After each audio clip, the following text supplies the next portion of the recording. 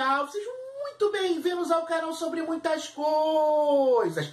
Mais um vídeo para falar de Vikings aqui no canal. E dessa vez eu vou analisar o sneak peek do 11 episódio da sexta temporada da série. Eu confesso para você que eu estava morrendo de saudade de gravar meus vídeos sobre Vikings aqui no Sobre Muitas Coisas. E essa saudade estava ainda maior, pois eu não consegui gravar nenhuma review emocional dessa sexta temporada. Mas quando eu assisti o sneak peek, eu não pensei duas vezes e disse comigo mesmo: eu preciso gravar um vídeo sobre esse sneak peek, até porque ele trouxe algumas situações bem interessantes. Inclusive, esse sneak peek foi exibido no painel de Vikes da San Diego Comic Con. Inclusive, se você quer que eu faça um vídeo especial sobre esse painel, deixa aqui nos comentários que eu vou fazer com o maior prazer. Mas esse vídeo é para analisar o sneak peek, até porque, como eu disse, ele trouxe algumas coisas bem interessantes. E essa análise eu vou fazer de maneira cronológica, até porque você já imagina que a última cena que eu vou comentar foi a que mais mexeu comigo e foi a que mais chamou a minha atenção. Vou começar pelo início, até porque o início do sneak peek também chamou muito a minha atenção, pois a cena mostra o Oleg participando da Santa Ceia. E essa participação do Oleg na Santa Ceia me chamou muito a atenção, pois ele está participando da Santa Ceia antes de ir para a batalha. E outro fato que me chama a atenção nessa celebração da Santa Ceia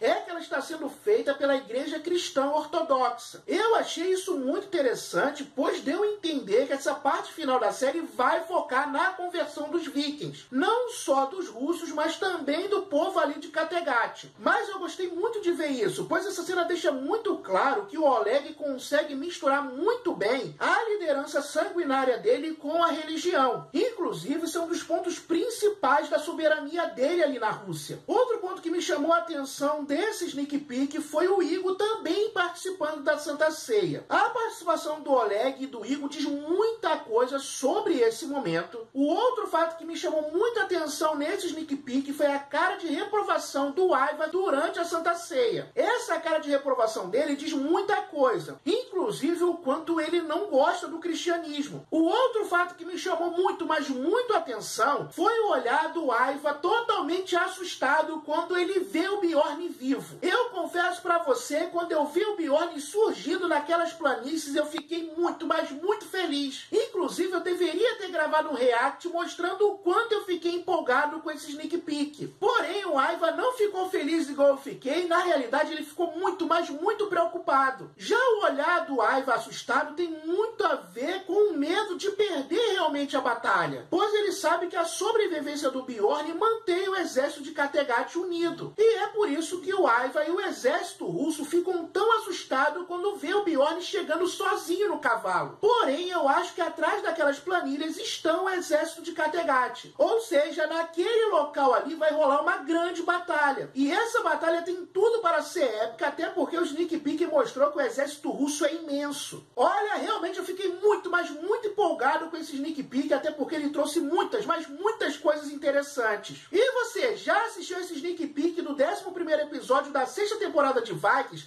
Gostou ou não gostei? Ficou empolgado? Ficou empolgada? Não vê a hora dessa parte final da temporada de Vikings chegar? Deixa aqui nos comentários. Gostou do vídeo? Curta o vídeo, compartilhe o vídeo. Isso é muito, mas muito importante para o crescimento do canal. E eu sempre gosto de lembrar, se você curte e ama Vikings, esse é o canal certo para você. Pode se inscrever sem medo. Me siga nas redes sociais que é o Henrique Alves TV. Um grande abraço e até o próximo vídeo. Valeu, galera. Fui!